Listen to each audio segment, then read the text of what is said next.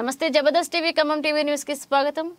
ఆషాఢ మాసం ఆరుద్ర నక్షత్రాన్ని పురస్కరించుకుని కాజీపేట శ్రీ భ్రమరాంబిక సమేత మల్లికార్జున స్వామి దేవాలయంలో ప్రత్యేక పూజలు నిర్వహించారు. ఈ కార్యక్రమంలో భాగంగా దేవాలయం ప్రధాన అర్చకులు ప్రవీణ్ శర్మ ఆధ్వర్యంలో రుద్రాభిషేకం కన్నుల పండుగ నిర్వహించారు. అనంతరం రుద్రాహోమం జరిపించారు. కార్యక్రమంలో భక్త మండలి ప్రతినిధులు భక్తులు అధిక సంఖ్యలో పాల్గొన్నారు.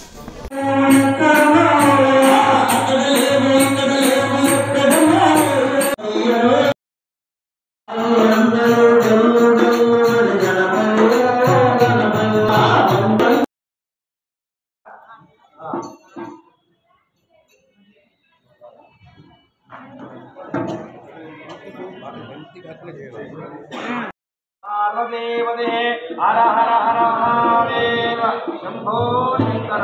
ధన్యవాదాలు.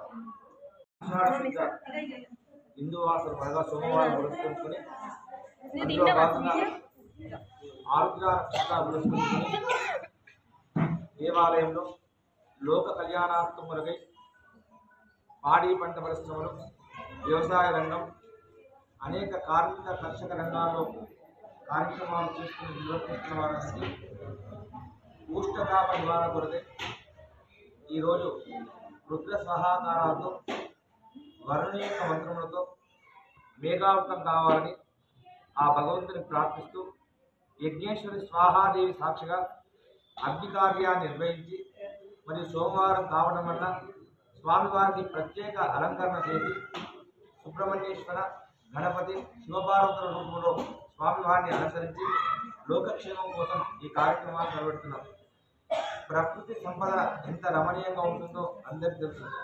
అది దేని వల్ల జరుగుతుందంటే ఒక వర్ష ప్రభావం వల్లే దాన్ని పరిరక్షించడం అనేది జరుగుతుంది. వర్షాలు లేకపోతే ఈ ప్రపంచంలో ఏది కూడా ముందుకు కాదు వర్షంతోనే ఏదైనా ఉంటుంది. కనుక ఆకలేనప్పుడు మన అన్నం కొనుక్కోవడం డబ్బులు పెట్టేది. కానీ నీరు కావాలన్నప్పుడు మనకు అప్పటికప్పుడు నీరు అవి అయిపోయినా కూడా నీరు దొరకదు. కానీ ఎప్పుడు భగవంతుని యొక్క స్వరూపం.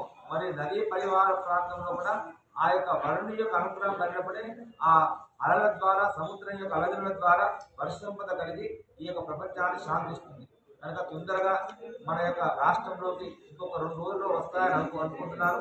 మనం చాలా వేడిగా ఈ నెల పదిహేను రోజుల కాలంలో భక్తులు ప్రజలందరూ లోకమంతా కూడా చాలా ఇబ్బంది పెట్టారు. మరి అనేక మరణాలు కూడా మనం చూస్తున్నాం.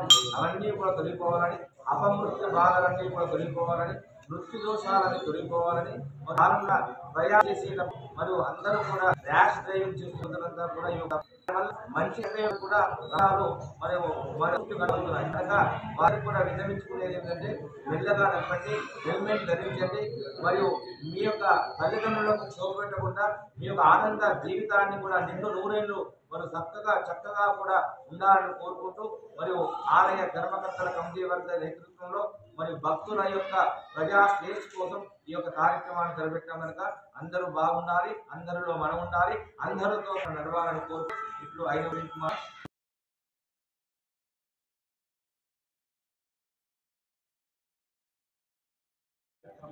రోజు హోమం చేయడం అనేది గత కొద్దిగా మన ఆలయ అర్చకులు ఉపాసకులు గారు చేపట్టారు ఇది చాలా చక్కస్తున్నారు ముఖ్యంగా వారు చేసేది లోకక్షేమం కోసం చేస్తున్నారు.